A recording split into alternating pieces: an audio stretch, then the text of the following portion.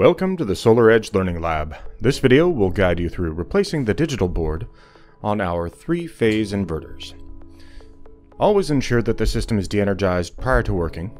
To do so, turn the inverter on-off switch to the off position.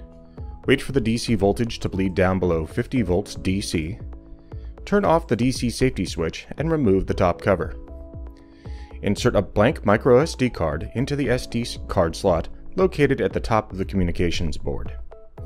Access the menus via the 4-button interface. Long hold on enter, and the password is 123 12312. Use the down arrow to scroll down to Maintenance. Then select Board Replacement. Select Backup, and wait for the board replacement process to complete. Once backup is complete, turn off AC power and remove the micro SD card. Remove the communication board, as well as the wires that run to the LCD button, and pull straight out of the inverter. Set the assembly aside on a non-conductive surface.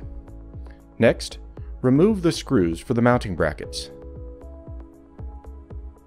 Once complete, pull the digital board directly away from the inverter.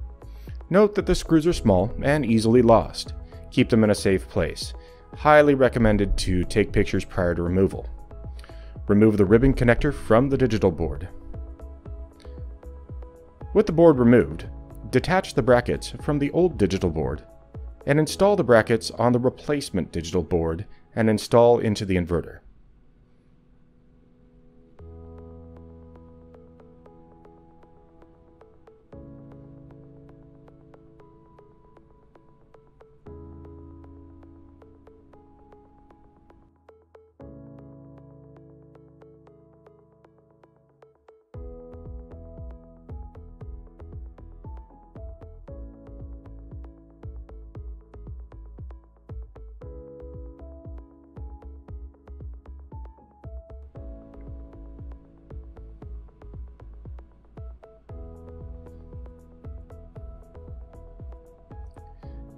Next, replace the Phillips head screws and reinstall the ribbon connector.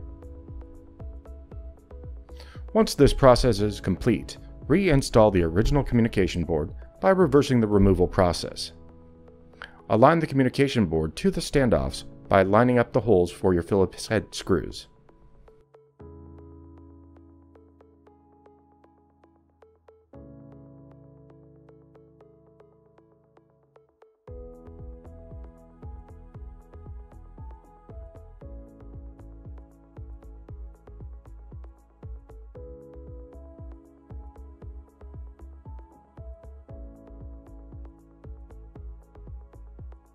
Once the boards are in place, insert the microSD card and turn the AC power on. Your inverter will download the information from the microSD card to complete the board replacement. You can manually start this process by going to Maintenance, then SW or FW Upgrade. Thanks for joining us in the SolarEdge Learning Lab.